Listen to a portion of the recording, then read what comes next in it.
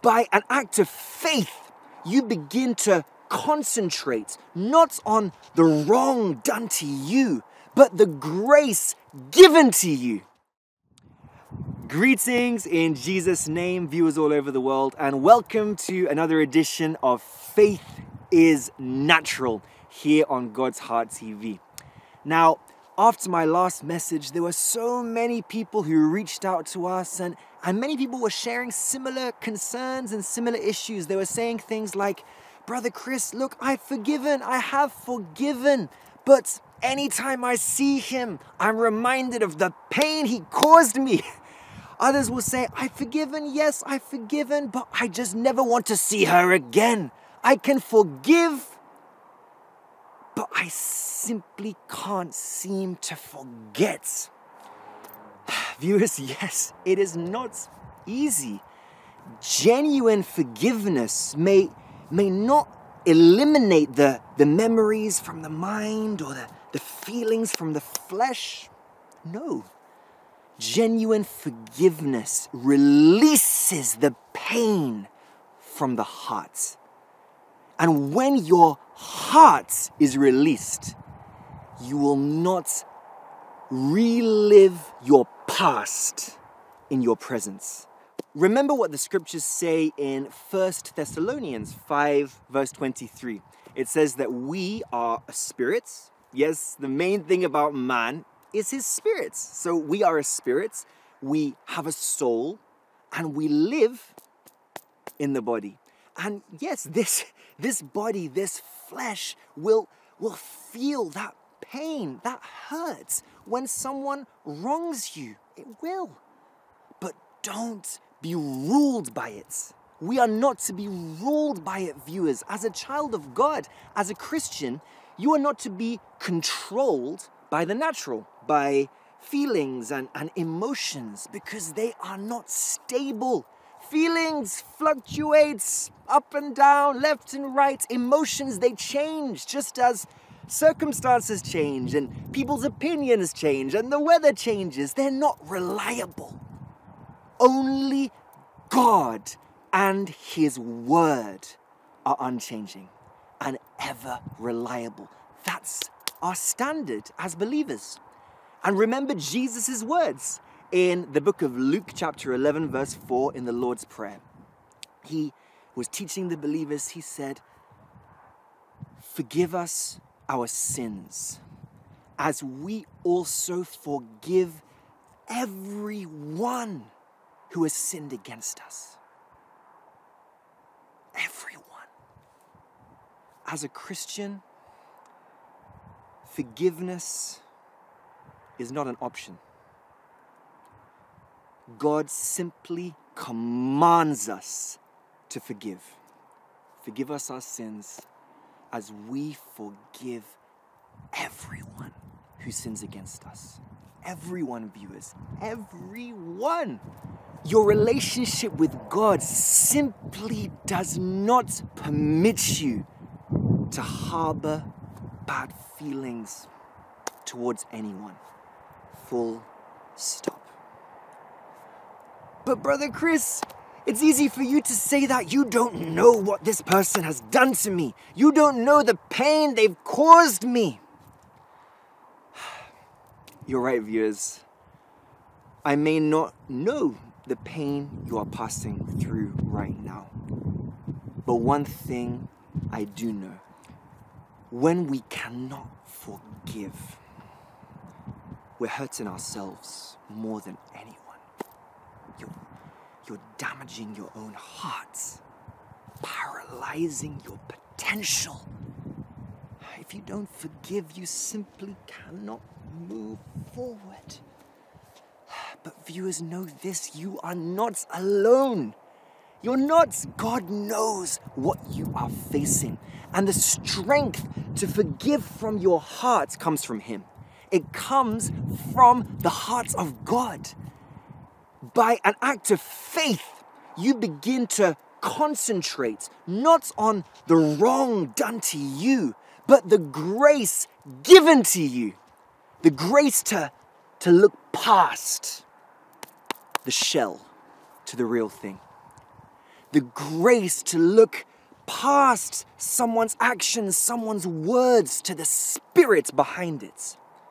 The grace to recognize that all of us, all of us, whether you're the one who caused the pain or the one who suffers the effects, we all stand in helpless need of God's divine forgiveness. Forgive us our sins as we also forgive everyone who sins against us. Viewers, I, I wonder. I wonder if many of us would want God to forgive us in proportion to the way we forgive those who have offended us.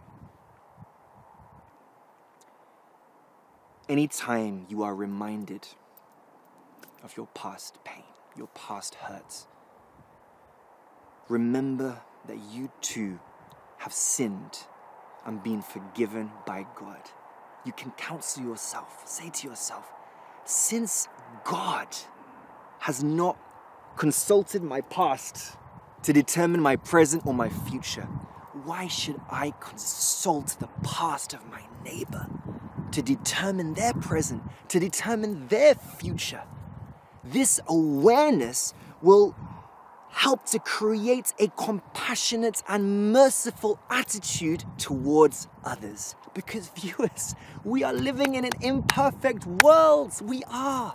We're living in an imperfect world where the challenges facing relationships will never end. Just as the battle in our hearts will never end, Satan will never stop trying to remind you of your past. Never. That's his weapon. That's the only information he actually seems to have about you, your past. So don't give him an audience. Don't be drawn into a conversation when you already know its outcome will be destruction. Don't submit to his suggestions. No, guard your hearts, for it is the realm of the desires and feelings. Take care of your hearts in the light of God's word as the word of God acts upon your spirits, upon your inner man, the real you, it will reflect in your behavior, in your conduct, in your response to relationships. For when your spirit is free, when, when the joy of the Lord fills your heart, when you possess that peace that surpasses all understanding, it overshadows the pain of the past and the hurt of the flesh. Yes, it's painful,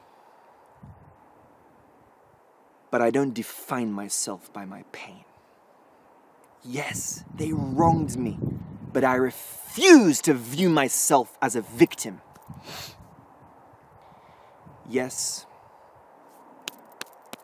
the shell may hurt. it may hurt, but the real me is just fine. Viewers, in conclusion, everyone, everyone hurts somewhere, just as everyone has hurt someone somewhere and at some time. God knows this. He knows we are weak. He knows our limitations. He knows our shortcomings and He's ready to help. He's ready to manifest His strength in our weaknesses. If you give in to God, you will not cave in to sin, to bitterness, to offense, to resentment. If you surrender to God, you will not succumb to the senses. Why? Because His grace is enough. His strength is sufficient. His mercy is unlimited. And through His word, by His Spirit, you can be released from the pain of the past and delivered from being ruled by the senses. So, viewers, let's the past be past. Don't look back. Let the past be past. Don't look back unless it is to appreciate God for how far He has taken you. Right now, it is time to pray together.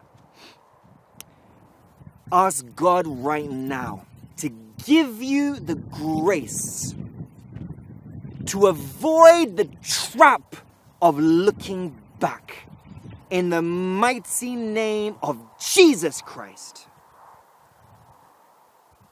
That roots that keeps unforgiveness alive.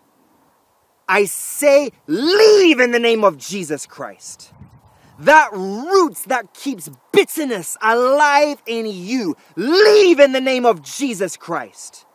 That roots that keeps anger alive in you, I command you to leave in the name of Jesus Christ. Leave in the name of Jesus Christ. Let there be freedom.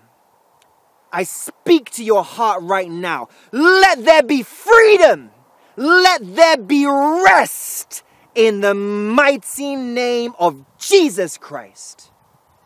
Amen, amen, amen. Thank you, Jesus. Glory be to God. Viewers, thank you for joining me. We'd love to hear from you. Please share your thoughts on this message in the comment section below. And remember, seek God's heart to see life clearly. God bless you.